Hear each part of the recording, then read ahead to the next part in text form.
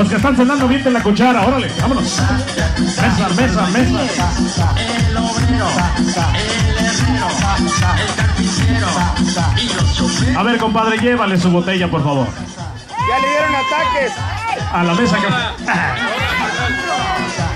Una botella sola. Ah, no, ya la tiene. Y los juniors, y los fresas, los que le roban el dinero a mamá y se lo gastan en clima.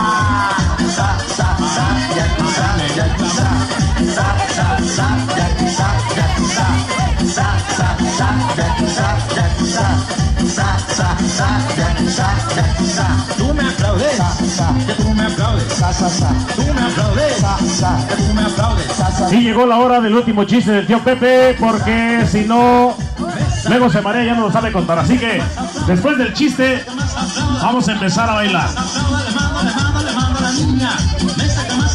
Pero aplausos, señores, que el tío Pepe no se anima, caramba. Por eso los talentos no crecen en México por gente aburrida como ustedes.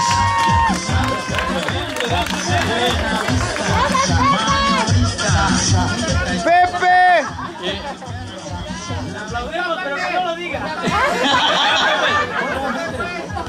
Para que te miren.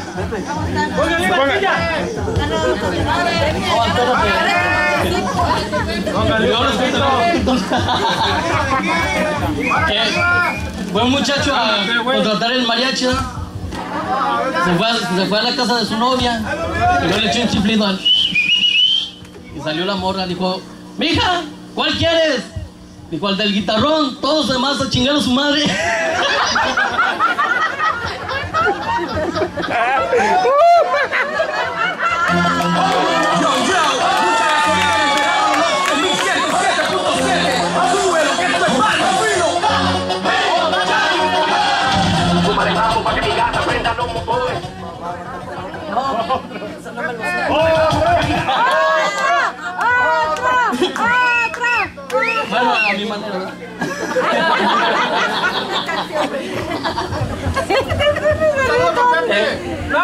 Llegó un cuate al hotel y le dijo al que está ahí en recepción, dijo, oiga, quiero un cuarto.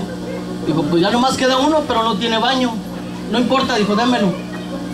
Rentó el cuarto y en la noche le daban ganas del baño.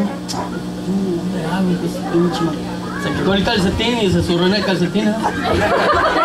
Dice, ay, cabrón, dijo, ¿ahora dónde lo aviento? Y agarró el calcetín. Y empezó a y dijo, ay, güey. Y contrató a alguien que lo limpiara. Dijo, oiga, le voy a dar 100 pesos si me limpia todo esto. Dijo, yo le voy a dar 200 si me enseña a cagar volando.